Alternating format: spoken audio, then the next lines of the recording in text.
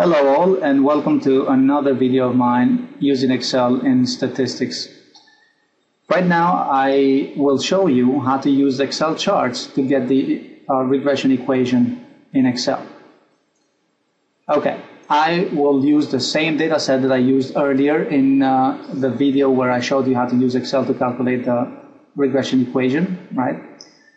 And that data set actually looks at the relationship between hours of study and the exam score that the student will get. And we sort of try to see if the more number of hours you studied, the greater your score was in the exam. Let me show you now how quickly you can uh, create the regression equation in Excel.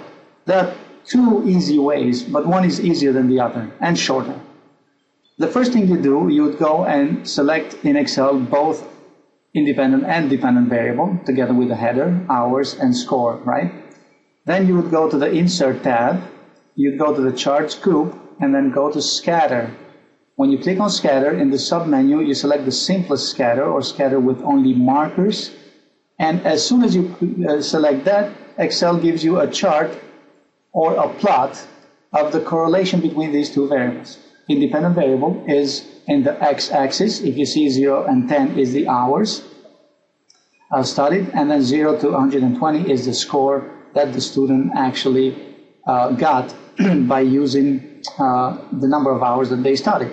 For example, this data point right here is a point of 7 hours studied and 58 score. So that would be somewhere right over here. 7 hours studied and 58 is the score. So that's the data point for this particular pair of dots or values. Here's what I want to do right now. I want to have Excel create a regression line, linear line, in this correlation uh, chart, and also give me the regression equation, which is the intercept plus the uh, slope times the independent variable or x. And at the same time, I want to find out the r square or correlation coefficient squared. I can do that right away within uh, by clicking on the chart, right? You have the chart tools contextual tabs open up.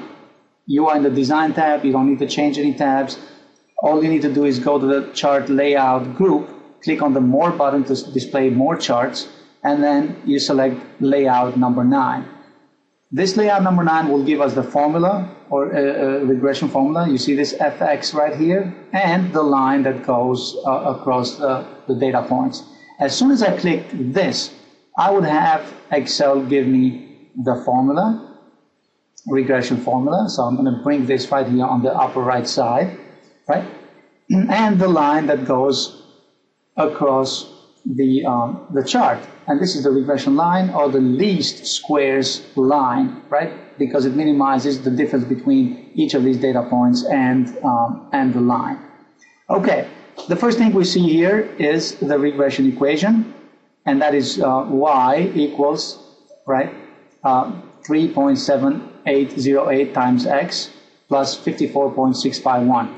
Now, 54.651 is A, right, or the uh, intercept.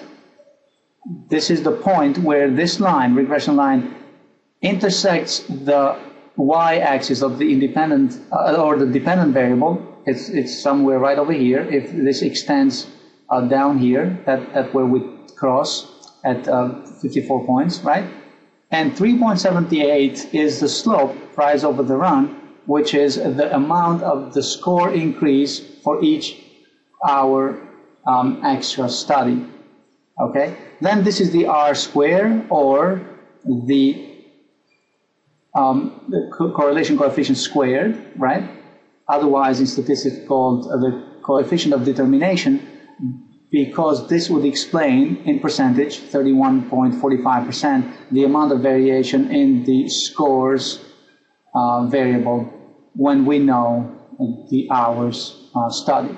So this is a fair amount of explanation of the uh, dependent variable from the independent variable. Of course, there are more um, factors that could explain the score, but 31.45% according to this model is explained by the hours of study, so almost one third. And then the other two thirds could be explained by other variations or other uh, variables or factors. The second way uh, if you do not want to use the design tab and the chart layout to do the uh, regression line and the regression equation, you have to go to the layout tab in the contextual tabs. In the trend line, click on it and then go all the way down to the more trend line options. This will open up the format trend line dialog box. You'd go all the way down here in the display equation on chart. That's where uh, the equation is displayed now, right? So as soon as I check this box, the equation was displayed. I want to display the R square as well, and that's going to come up right here at the bottom, right below it. That's it. That's the R square. One other thing that I want to do here is I want to change the line color to red, right? And also I want to change the line style to make it a little bit wider or thicker. So as soon as I click close now, I have a thicker um, regression line and I have the regression equation for a second time. So either you can use the design tab and then the, the, layout number nine, or you can go to the layout tab and use trend line, more options, and you can uh, find the regression equation. One other thing that I want to uh, show you, if you see Excel actually uses the formula y equals bx plus a, right, where a is the intercept b is the slope. I showed you the formula of y equals a plus bx. It's the same formula. It's just that um, you know the factors have changed places.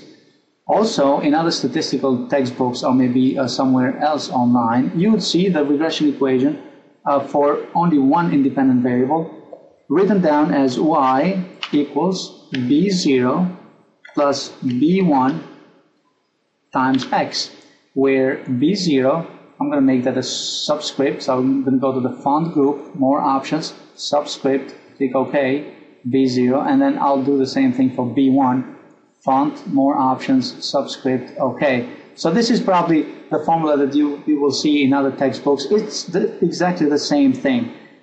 The factor that is multiplied with x is always the slope. And the other factor that is not multiplied by x is always the intercept, the point where the regression line intersects the y-axis, or the point where the, the dependent variable value is when the independent variable is zero. Okay, so when independent variable is zero, what's the variation? That is the intersect, right?